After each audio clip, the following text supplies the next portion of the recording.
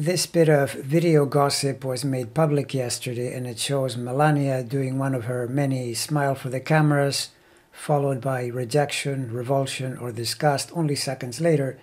and immediately leads to speculation about just what are her true feelings about the Orange Menace and about her marriage to him.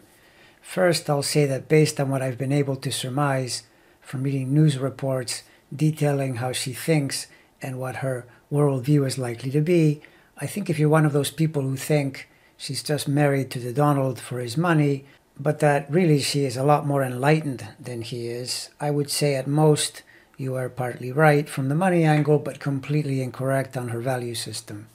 Her leaked comments at various times reveal that she either thinks about things pretty much exactly the same way her portly husband does, or else she has pretty much adopted his world view over the years and now simply parrots it out whenever needed.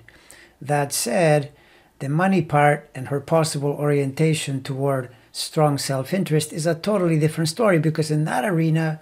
the chart signals pretty clearly that even if she is married to someone who might qualify as the most selfish man in history, she too is looking out for number one. And by number one, I don't mean Donald, I mean Melania which could perhaps be as we would expect, since there's a pretty reliable life rule that tells you birds of a feather flock together. And my feeling is, on that account, these two birds are pretty similar. When you have four planets in Taurus, including the Sun and Venus, its ruler, money and resources are going to be anything from super important to absolutely imperative. And even if you say her marriage to someone with a lot of dough takes care of that impulse, when you see that she most likely has a Capricorn moon, you begin to realize she is going to be quite strategic in calculating her long term prospects. A Scorpio Jupiter adds shrewd energy into the equation,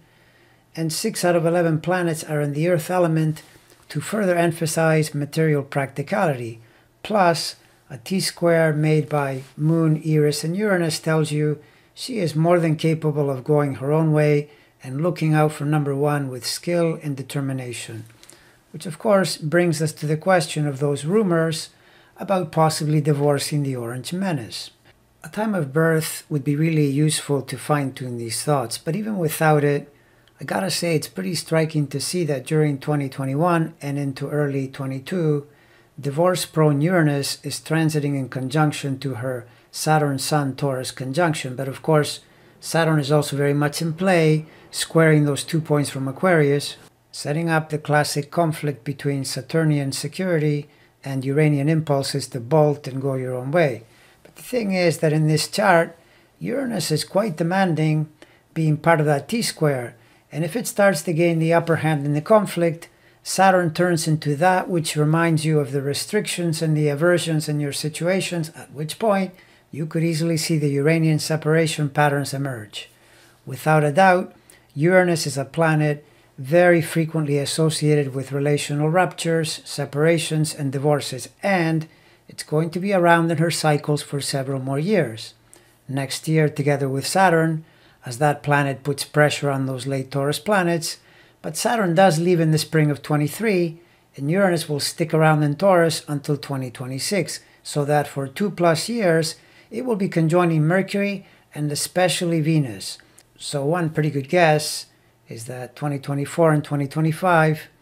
become years when the marriage might be most vulnerable, especially if Venus, aside from being a natural relationship planet, happens to be connected to the marriage house in her chart. Mars connected to that house would also be problematic since Saturn is going to be squaring it in 2023. And all those Taurus planets of hers don't exactly line up too well with her goofball husbands because the Sun and Saturn square his Pluto and the other two square his Mars. Great formula for some initial excitement, soon followed by lots and lots of potential conflict. And we have to realize that when her late planets get hit by anything, so does his late Leo Mars and ascendant, which makes it the kind of shared moment that could lead to a breakup. Finally, the cardinal T square made by Moon Uranus Eris is right in there cranking away at Trump's Access Hollywood T Square.